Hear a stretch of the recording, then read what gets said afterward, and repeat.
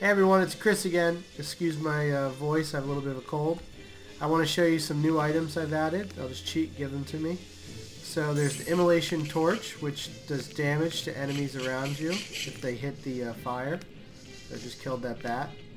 Oh, it's good, we got a Goblin, because I want to show you the next ability is the Absorbing Ring, which actually blocks bullets. So let's find this. Oh, where'd he go? Oh, there he is. Okay, let's kill some stuff around me so I can show you. It actually blocks his attacks. So when he shoots his bullets at me, if I fire this purple ring, any bullet that touches it gets wiped out. So absorbed, if you will. So that's a pretty useful ability, especially against bosses, to wipe out their major attacks.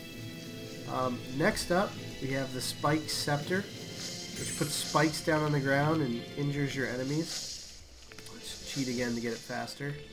Uh, you can use it through walls, like I just did there. Uh, and it's a really effective uh, ability if you time it right. Does a lot of damage. Um, so anyways, those are the three new abilities. The, uh, the Spiked Scepter, Immolation Torch, and the Absorbing Ring. Alright guys, let me know what you think. Good luck and have fun.